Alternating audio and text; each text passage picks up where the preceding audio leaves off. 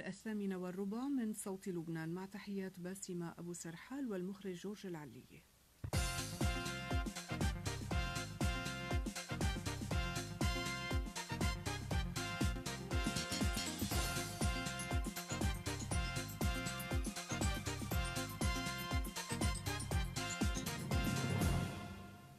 العناوين. نسبة التأليف تغلب نسبة الاعتذار وأسبوع اللقاء الرابع عشر يبدأ اليوم. وإبراهيم ينشط على خط بعبدة بلاتينوم. إشكاليات التأليف في تقرير خاص في سياق النشرة. الاتحاد الأوروبي يزيل لبنان من قائمته للسفر الآمن. التجديد بالإجماع لمهمة اليونيفيل في الجنوب بعد مفاوضات صعبة حسب مدللي قتلى في انفجار داخل معمل لتصنيع الخزانات في برج البراشنة. عملية تلحيم لأحد الخزانات شجرات. كان في ضغط لهذا الخزان؟ أدى إلى انفجاره لأنه انضغط بكمية زائدة حسب المعلومات الأولية. أكبر عملية إجلاء في التاريخ الأمريكي وفصل جديد من العلاقات بين واشنطن وكابول.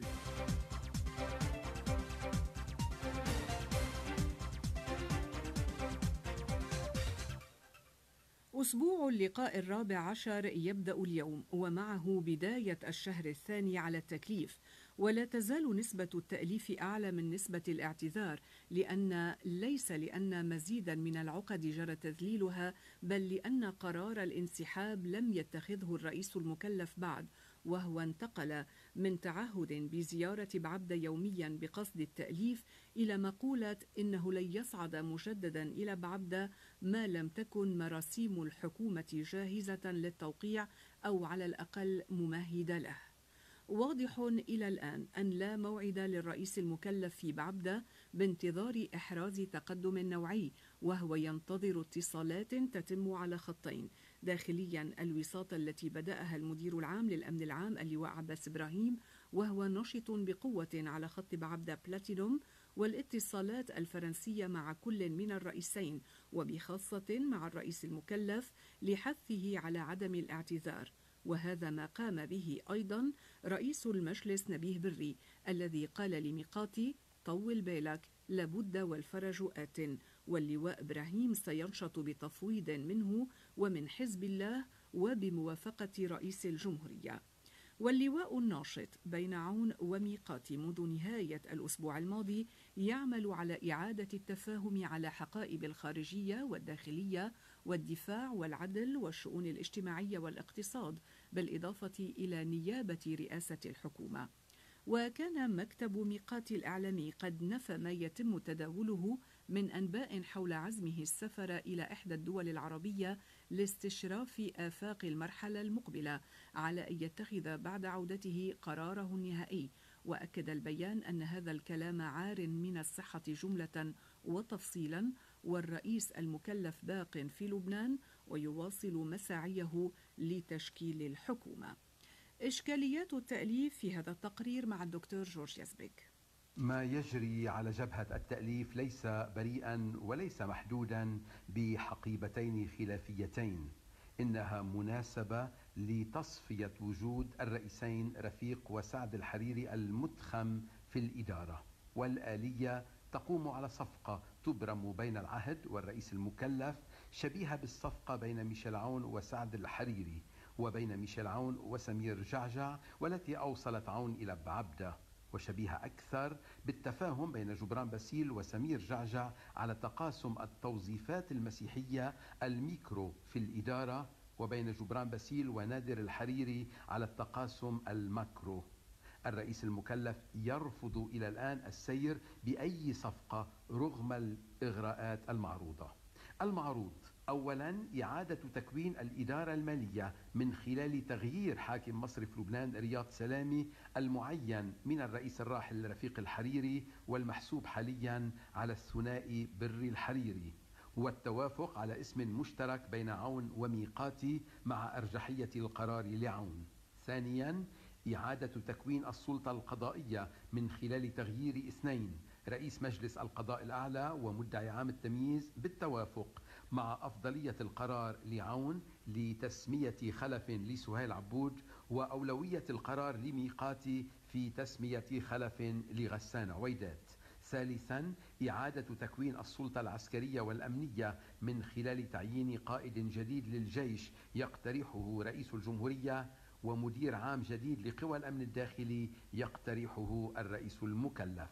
رابعا إعادة تكوين سلطة إنترا من خلال تغيير المدير العام لشركة طيران الشرق الأوسط محمد الحوت المحسوب على سعد الحريري والإتيان بخلف مقرب من ميقاتي. صفقة تدغدغ المستقبل السياسي للرئيس ميقاتي وحضوره في الإدارة وتمهد لميقاتية سياسية تخلف الحريرية السياسية لكن مقابل التنازل عن بعض صلاحيات التأليف وعن بعض الحقائب الوزارية كما ونوعا خاصة تلك المتصلة بالانتخابات النيابية. جواب ميقاتي إلى الآن كلا. في الأمن أسفرت مساعي التهدئة في مغدوشي إلى عودة الهدوء إلى البلدة فيما لا يزال الجيش منتشرا على الأرض. وذكر أنه تم توقيف اثنين من عنقون ثبت تعديهم على أهالي مغدوشي وإلحاق الضرر الجسدي بأحد أبنائها. مطارنة الصيدا ودير القمر للموارنة وللروم الكاثوليك والأرثوذكس أكدوا تمسكهم بالعيش المشترك كشعار نهائي لا حياد عنه وضرورة تشكيل الحكومة في أقرب فرصة ممكنة. صحيا أعلنت وزارة الصحة تسجيل 775 إصابة جديدة بكورونا وأربع وفيات في الساعات الأربع والعشرين المنصرمة. وفي آثار كورونا والمتحور دلتا اتفقت حكومات الاتحاد الأوروبي على إزالة ست دول من قائمة الاتحاد للسفر الآمن وهو ما يعني أن الزائرين القادمين من تلك الدول سيواجهون قيودا أكثر صرامة مثل إجراءات الفحص والحجر الصحي. والدول تشمل لبنان وإسرائيل والولايات المتحدة وكوسوفو والجبل الأسود ومقدونيا الشمالية. صحيا أيضا أعلن نقيب مستوردي الأدوية كريم جباره لل LBC أن مصرف لبنان أعطى موافقات مسبقة لعدد كبير من شركات الأدوية لاستيراد أدوية السرطان. وقال يعود لكل مصنع في الخارج ومستورد أن يجد أقرب شحنة ممكنة للإتيان بالأدوية.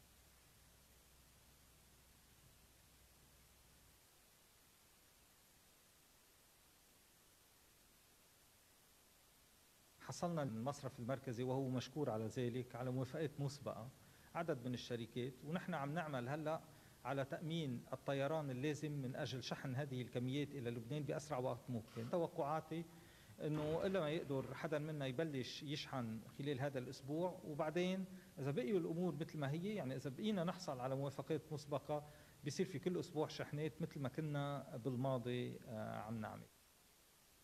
تنضم إلينا الآن في هذه النشرة نقيبة مستوردي المستلزمات الطبية سلمى عاصي صباح الخير. صباح النور. آه، مدام عاصي هل الإجراء ببدء استيراد أدوية السرطان بينطبق كمان على استيراد المستلزمات الطبية على أنواعها؟ أه لسوء الحظ لا. نحن بعد ما تبلغنا شيء أبدا من مصرف لبنان وبعدنا روح مكانك آه، مثل ما كنا قلنا قرر ثلاث اشهر ونص. وناطرين لنشوف شو ممكن يصير آه، باستيراد المستلزمات الطبية. بالأخص إنه آه، كل يوم عم نكتشف إنه في شيء جديد عم بينقص وما عم نقدر آه، نجيب محله. من ثلاث شهور لليوم استوردنا. نحن ما بقينا ناطرين موافقة المسبقه تبع مصرف لبنان. استوردنا.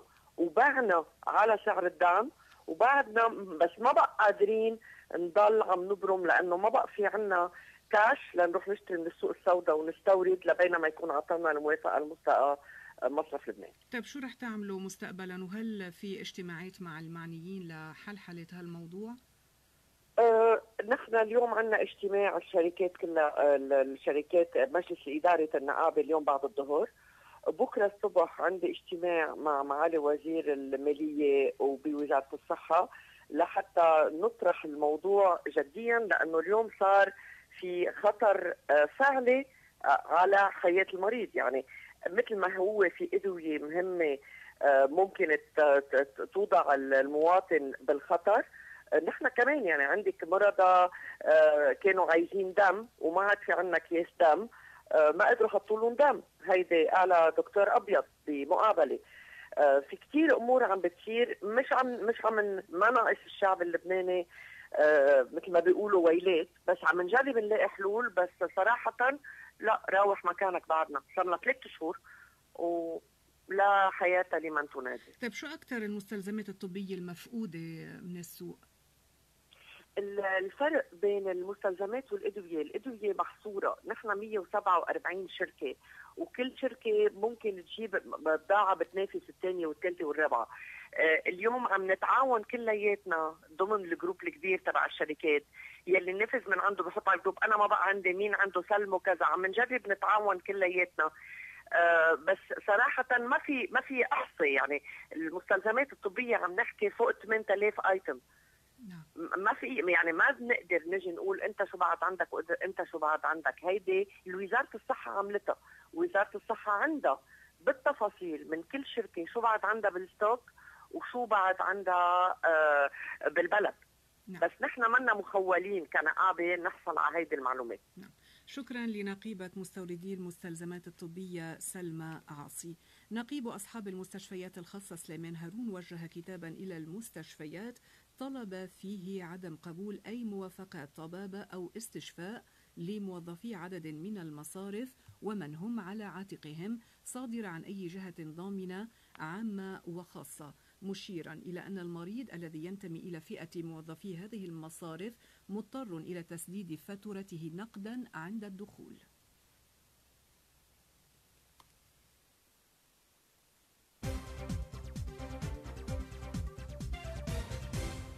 تجمع عدد من أمهات وأهالي ضحايا انفجار مرفأ بيروت أمام منزل النائب العام التمييزي القاضي غسان عويدات في بيروت لمطالبته بالعمل على إسقاط كل الحصانات وإيصال التحقيقات في جريمة أربع آب إلى خواتمها والتقى عويدات المعتصمين بناء على إلحاحهم عند مدخل المبنى الذي يقطن فيه. أنا متنحم الملف ومش مزبوطة النظرية اللي بتقول لأني متنحم الملف. فيني أنا بد بحيالله شيء بهيدي القضية. ابدا غلط. والبرهان على ذلك حيالله قاضي بيتنحى. حتى جلسة ما في عين وقال عويدات ردا على سؤال إنه ضد أن يذهب رئيس الحكومة إلى التحقيق لأنه ذهب وقدم إفادته. أما مثوله كمدة عليه فدونه دستوريا الإدعاء عليه في مجلس النواب مع إحالته إلى المحاكمة أمام المجلس الأعلى لمحاكمة الرؤساء والوزراء.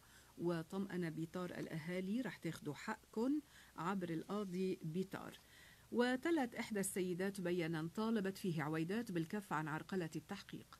نحن بنعرف أبسط الأمور واللي هي إنك أنت رأس الهرم بالأجهزة القضائية والعدالة بتبلش من عندك وبتنتهي عندك.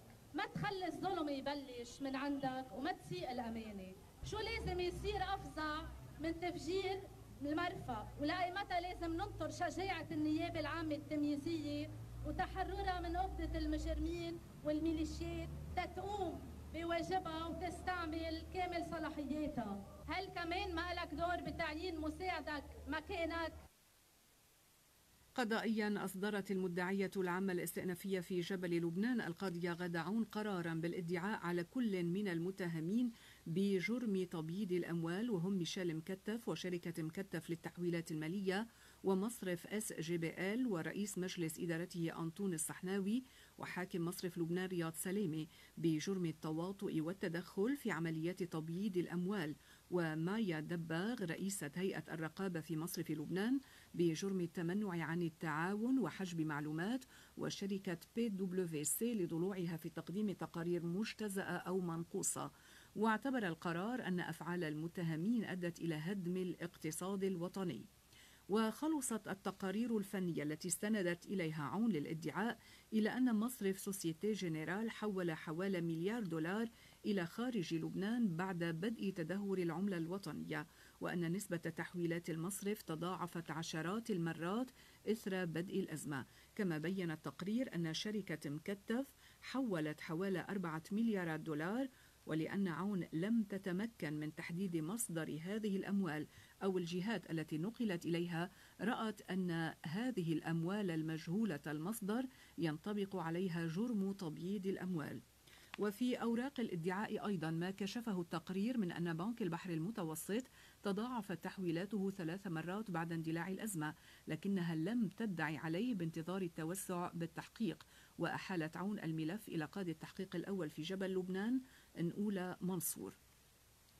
يشار إلى أن القاضي يعون تابع تحقيقاتها في ملف سحب الدولار من السوق وشحنه إلى الخارج بالرغم من قرار المدعي العام التمييزي غسان عويدات بكف يدها وتعيين القاضي سامر ليشع قاضيا أصيلا للنظر في هذا الملف.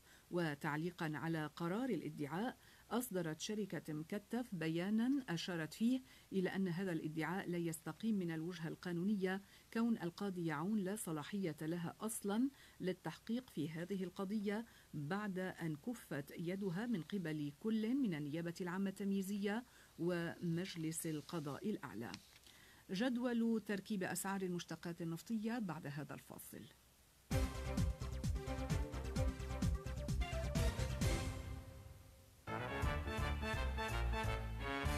الأدوية مخزنة في المخازن والمستودعات والمواطنون يتسكعون على أبواب الصيدليات. فأين العقوبات القاسية على المحتكرين والمهربين؟ ومن يتحمل مسؤولية ما وصلنا إليه؟ نقطع السطر. يفتح الملف مع رئيس لجنة الصحة النيابية النائب الدكتور عاصم عراجي ومعنيين. الثلاثاء بعد نشرة أخبار الثامنة والربع مع نوالي شعبود عبر صوت لبنان. نقطة السطر. أزمة المحروقات مكان كراوح وسفينة الوقود الإيرانية تواصل الإبحار باتجاه لبنان. جوزيفين أبي غصن. في جديد النفط الإيراني إعلان المتحدث باسم وزارة الخارجية الإيرانية سعيد خطيب زادة أنه طالما استمر لبنان بالطلب ستستمر إيران بإرسال المحروقات إلى هذا البلد. وقال خطيب زادة أن الدولة الإيرانية هي التي تقرر لأي جهة تصدر النفط مشددا على أن الولايات المتحدة أو أي دولة أخرى لا تستطيع أن تتدخل في هذا الأمر.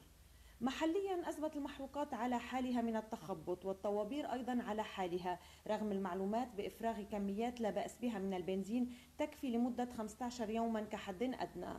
ورغم تأكيد ممثل موزعي المحروقات فادي أبو شقرة إن بواخر الفيول تصل تباعا وتفرغ الحمولة إلا أنه قال إن الأزمة ستستمر طالما سياسة بيع الجالونات ناشطة في السوق السوداء من دون أي محاسبة مشيرا إلى أن 40% من المحطات لا تزال على موقفها بعدم تسلم المحروقات خوفا من التوترات الأمنية التي تحصل.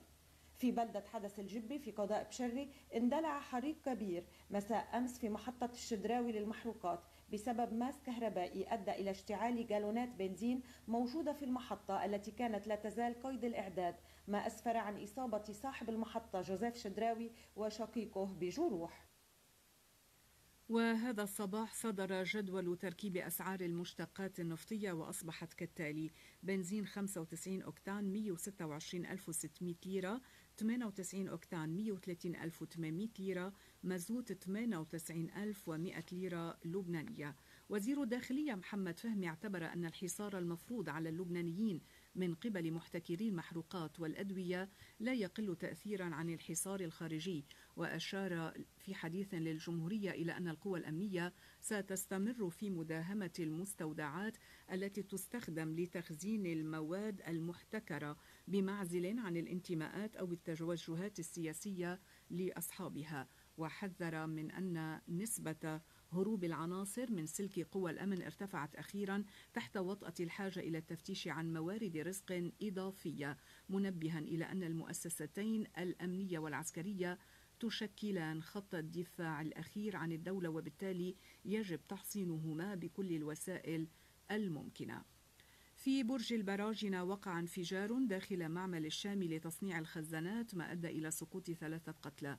رئيس البلدية عاطف منصور تحدث لصوت لبنان عن فرضية التلحيم. لا شك فاجعة تلقتها برج براجني أودت بحياة ثلاث أشخاص صاحب مشغل لتصنيع الخزانات والشجيرات والأفران بالإضافة إلى اثنين من العمال وتضرر العديد من السيارات المجاورة بالمحل. الحادثة ما فينا نستبق التحقيقات اللي ما زالت جارية حتى اللحظة ولكن المعلومات التي رشحت من هنا وهناك أنه عملية تلحيم لأحد الخزانات الشجيرات هذا بيتلحم عادة بمواد وعملية كان في ضغط لهذا الخزان أدى إلى انفجاره لأنه انضغط بكمية زائدة حسب المعلومات الأولية.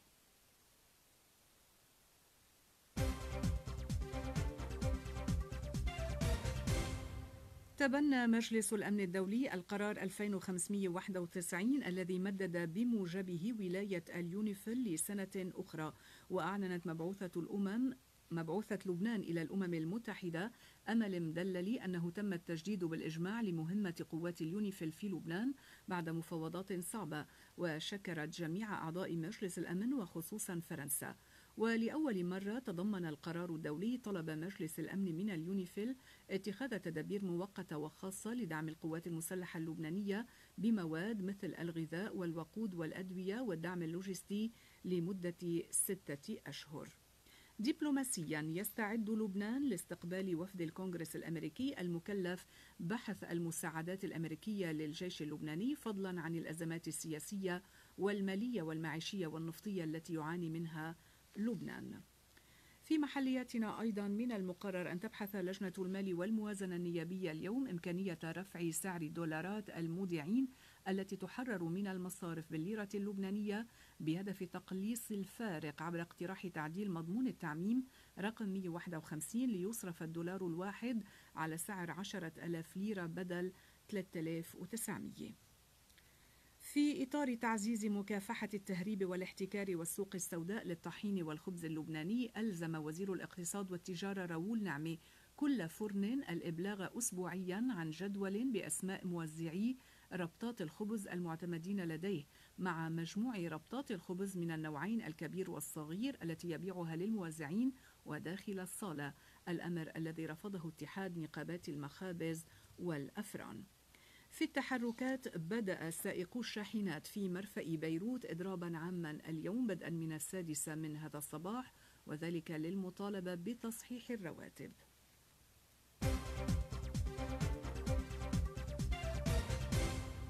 أكد الرئيس الأمريكي جو بايدن أنه في خلال 17 يوما تمكنت قواتنا من تنفيذ أكبر عملية إجلاء شهدها التاريخ الأمريكي وقال إن القادة العسكريين أجمعوا على أن إنهاء مهمتنا في أفغانستان أفضل لحماية أرواح الأمريكيين. وزير الخارجية الأمريكية أنتوني بلينكن أعلن بدوره أن المهمة الأمريكية العسكرية في أفغانستان انتهت وبدأ فصل جديد من علاقة واشنطن مع كابول. البنتاغون أعلن أن عمليات الإجلاء من مطار كابول انتهت في التاريخ المحدد لها أي اليوم وليس قبل ذلك وقال نحتفظ بحق ضرب أي تهديد إرهابي في أفغانستان مضيفا أن طالبان ساعدتنا في تأمين المطار والجهد الذي بذلته كان مفيدا لنا. تزامنا أعلن الجيش الأمريكي أنه دمر منظومة دفاع صاروخي كرام في مطار كابول بسبب صعوبة تفكيكها. وزير الخارجية القطري أكد أن طالبان على استعداد لاتخاذ خطوات لا تعيد أفغانستان إلى العهد القديم ورأى وجوب أن يكون هناك إجماع دولي بشأن مسألة الاعتراف بحكومة تقودها. إلى الصفحة الرياضية مع رومن طنوس. صباح الخير.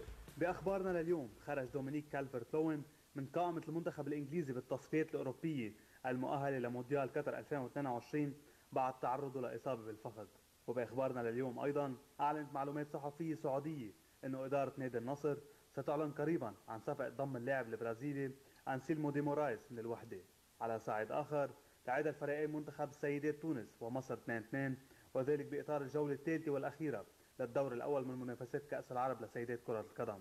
محليا أكدت معلومات عن تعاقد فريق بيروت لكرة السلة مع النجم أتير ماجوك بالفترة الحالية. ويذكر أنه ماجوك كان قد انضم إلى صفوف الحكمة والهومنتمن سابقا وشارك مع المنتخب اللبناني كمجنس بالاستحقاقات الدولية. وبالصفحة المحلية أيضا وضمن منافسات الأسبوع الثاني من فعاليات بطولة الدرجة الثانية بالدوري اللبناني لكرة القدم انتهت المباراة على ملعب كفرجوز بالتعادل السلبي 0-0 بين الأهلي صيدا والراسينغ وقد انتهت المباراة على ملعب بحمدون بفوز النهضة برلياس 1-0 على شباب مجد العنجر. كما انتهت المباراة على ملعب بلدية سور بفوز سبورتنج القليلي 4-0 على الاجتماعي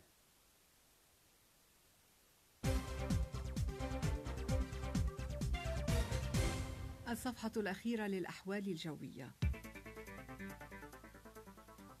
الجو اليوم غائم جزئيا مع انخفاض بسيط بدرجات الحرارة في المناطق الجبلية ومن دون تعديل في المناطق الساحلية والداخلية. كان في هذه النشرة نسبة التأليف تغلب نسبة الاعتذار وأسبوع اللقاء الرابع عشر يبدأ اليوم. وإبراهيم ينشط على خط بعبدة بلاتينوم. إشكاليات التأليف في تقرير خاص في سياق النشرة. الاتحاد الأوروبي يزيل لبنان من قائمته للسفر الآمن. التجديد بالإجماع لمهمة اليونيفيل في لبنان بعد مفاوضات صعبة حسب مدللي. قتلى في انفجار داخل معمل لتصنيع الخزانات في برج البراجنة عملية تلحيم لأحد الخزانات شديرات كان في ضغط لهذا الخزان أدى إلى انفجاره لأنه انضغط بكمية زائدة حسب المعلومات الأولية. أكبر عملية إجلاء في التاريخ الأمريكي وفصل جديد من العلاقات بين واشنطن وكابول. النشرة انتهت نشكر لكم إصغاءكم.